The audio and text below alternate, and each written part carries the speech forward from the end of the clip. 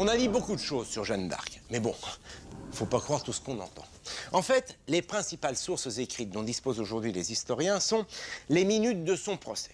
Alors, à partir de ces documents, que sait-on vraiment de Jeanne la Pucelle Eh bien, qu'elle est née en 1412 à Domrémy, un petit village de Lorraine, dans une famille de laboureurs. Que c'est une enfant comme les autres, si ce n'est son intense piété. En effet, elle se rend volontiers à l'église et dans les lieux saints, ce qui lui vaudra d'ailleurs les moqueries des garçons de son âge. Mais elle s'en fiche. Jeanne a du caractère. Et d'après les témoignages de ses proches, une volonté, une énergie hors du commun. En fait, elle commence à faire parler d'elle à l'âge de 13 ans. Elle affirme alors entendre des voix célestes, celles de Sainte Catherine, de Sainte Marguerite et de l'archange Saint Michel qui lui demandent de libérer le royaume de France et de conduire le dauphin Charles sur le trône.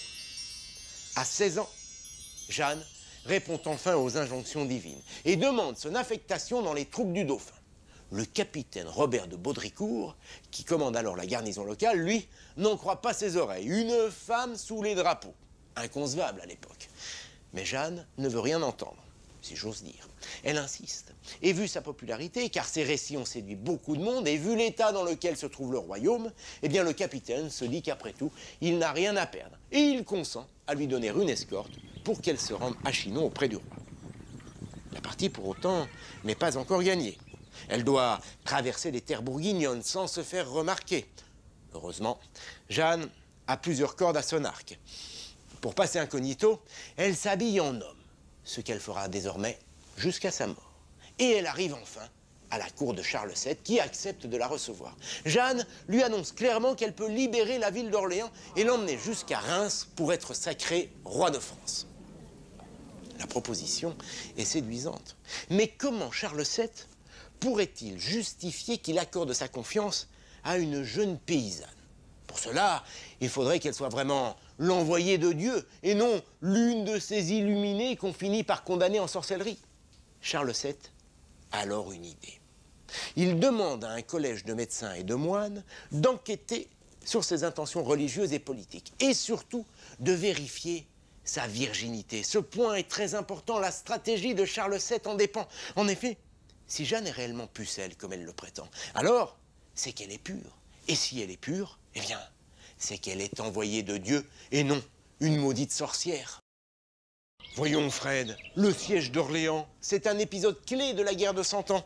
Je vous rappelle le contexte. En 1428, les Anglais et leurs alliés bourguignons tiennent la moitié nord du royaume de France et l'Aquitaine. Le centre et le sud, eux, sont restés fidèles au roi Charles VII. La frontière entre les deux, c'est la Loire. Or, pour conquérir la totalité du pays, les Anglais doivent impérativement franchir ce fleuve. Seulement, à l'époque, les ponts se font rares. Le principal se situe à Orléans. En octobre 1428, donc, les troupes anglaises, commandées par Thomas Montagu, comte de Salisbury, tentent de prendre la ville. Les Orléanais organisent leur défense. Ils se barricadent derrière leurs remparts. Les Anglais décident alors de faire le siège d'Orléans. Tout autour, ils construisent des fortins et des bastilles pour priver les habitants d'approvisionnement et les contraindre à se rendre.